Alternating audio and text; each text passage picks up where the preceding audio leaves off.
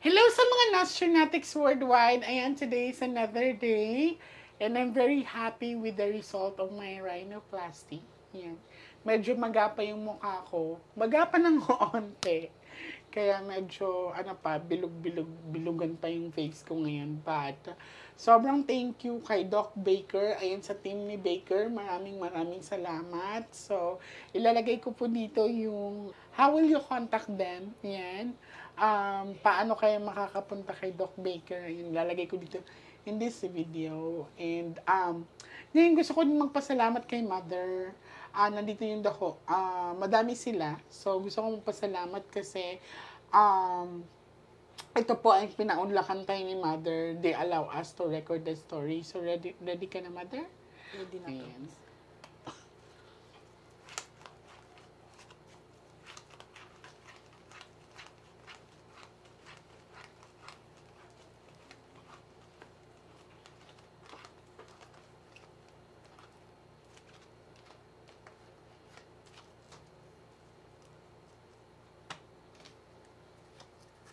So, I wanted to pick one card, Mother.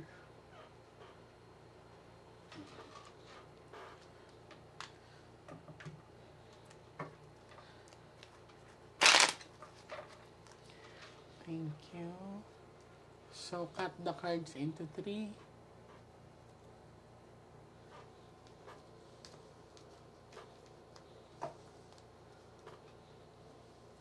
Kuha po kayo ng seven cards of total. Lagay niyo po dito.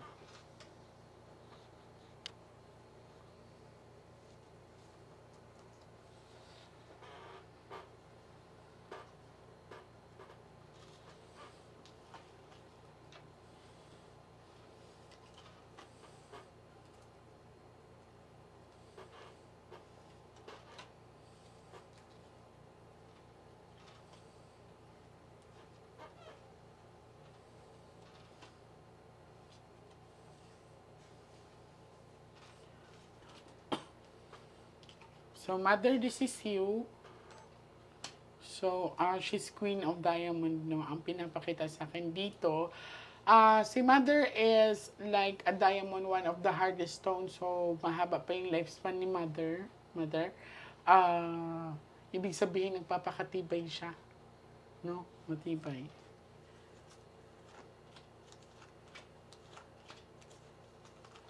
Puro itim, Mother. Kung mapapansin mo, puro itim mother and then isa lang yung pula. Ang nararamdaman nyo po, ang pinagdadaanan nyo po is it's not normal. Tsaka hindi lang daw po ikaw ang naka-experience ng ganito sa pamilya niyo. Sharp object. Kung mapapansin nyo, exhausted ang energy ni mother. Titingnan ko kung kaya ko siyang i-cleanse ha. Pero sang sinabi ng baraha ay um, hindi natural ang nararamdaman ni mother. Napa-check up niyo na ba siya sa hospital? Anong sabi ng doctor? Kasi maaring magne-negative ang mga result, parang pabago-bago. Sa retinal detachment daw po. Sa mata? When you say retina sa mata, titignan natin ha.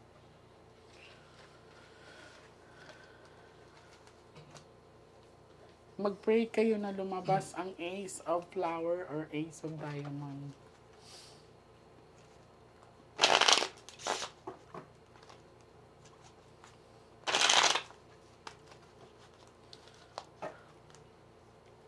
Cut the cards into three. Kailan ba nag, nagganito si mother na parang ah, hirap gumalaw? Or yung nag-start na ganito ang condition niya? Um, last year po. 2022, na-operahan.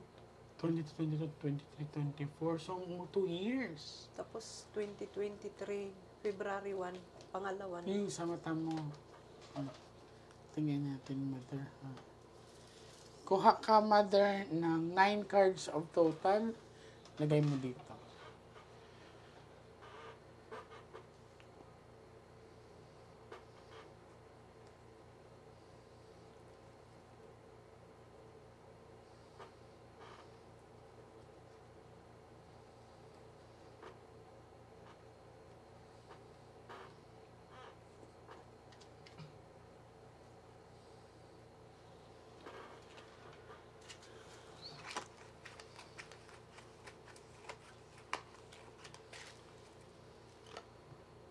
Ito, ikaw to mother ha.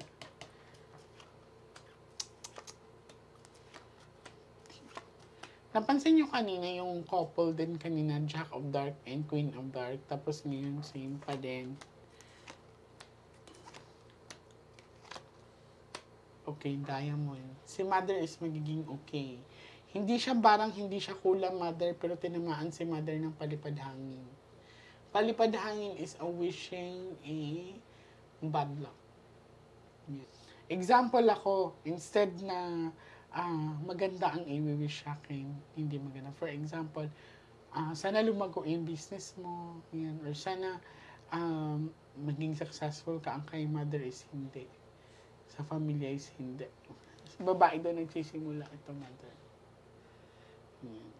So, kinaingitan siya with the success and maaring property. Yan. So, kung may business, maaring isa din yan. Basta ito ay may halong inggit.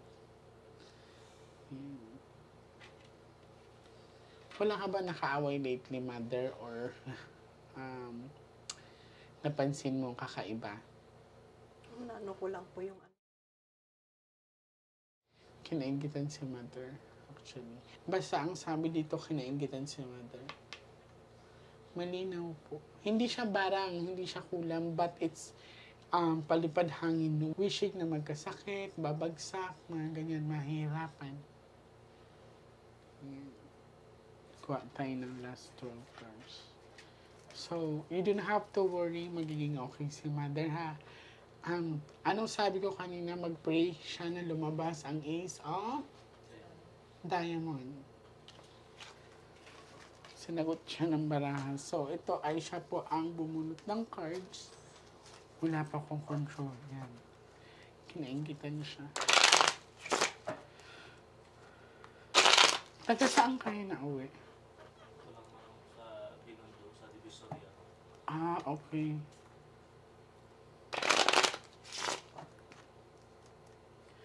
Cut the cards into three.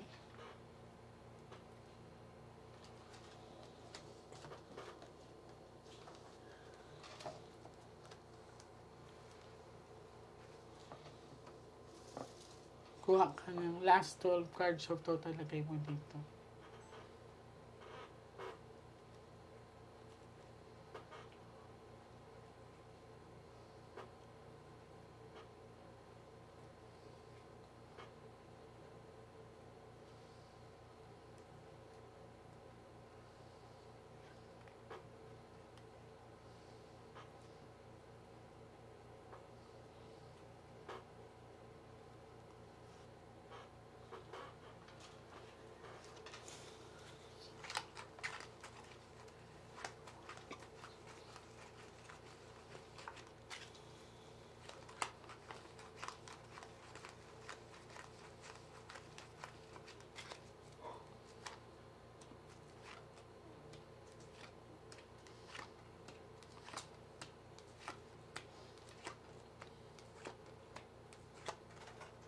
Okay.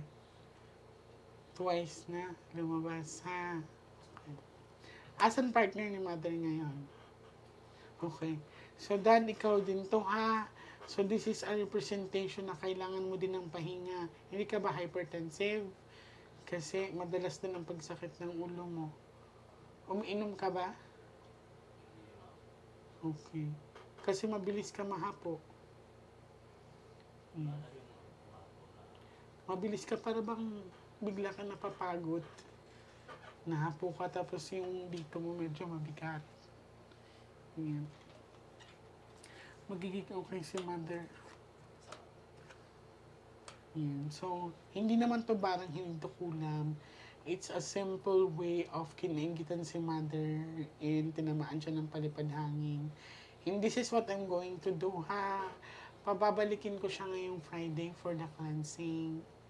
Huwag ka mag-alala na mother, tutulungan kita ha. Everything will be okay. Ako dapat po magpasalamat sa pagtitiwala niyo sa akin.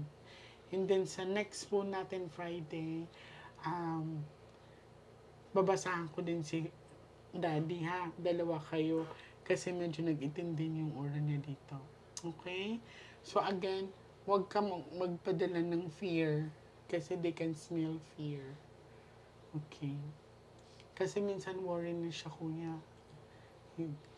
Ah, may moment na parang aligaga siya, hindi siya na, na- nakakatulog na maayos. Kasi nag-o-overthink siya. Yan. Uulitin ko, mother, help kita, huwag ka masyadong mag-isip. Okay, isipin mo, nandyan yung family mo, supportado ka. Okay? Sa taas ka kumuha ng lakas ng loob, secondary lang kami. So, suporta kami sa'yo. Kasi may time na parang napanghihinaan na kasi siya. Okay? So, uulitin ko, mother, we can do this together. Andyan din yung mga support staff natin. Andyan yung family mo. Okay? Kasi minsan parang feeling niya, para bang nag-ano siya na, wala na siyang silbi. Yeah. Oh, bakit naiyak ka, mother? It's okay. Kaya mo yan, ha? 2022 na, na-operan po ako ng gallstone. Tapos mata na naman. Pangalawa, tapos sasabihin, opera na naman po ito. So, balak na operahan mo yung isang mata niya. Ah, wag na muna ha. Naka-schedule na ba siya? Ah, wag muna. Kasi tutulungan ko muna si mother for the cleansing ha.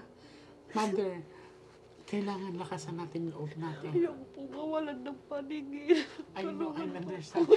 Mother, alam mo bang sinagot ka ng baraha? Ace of Diamond, hindi ka mawawala ng paningin ha. Nandito ako, tutulungan kita, mother. Trust me, okay? Sana po. Hmm. Oh, huwag ka mapanghinaan ng loob, ha? Nandito kami, hindi ka mawawala ng paningin. Okay, mother? Oh, tu- basta tutulungan kita. Um, ano lang siya, dad, kailangan siya ng kausapin kasi minsan ah, tinatamaan na siya ng anxiety. Feeling niya is parang mawawalan siya ng pakinabang, ganito.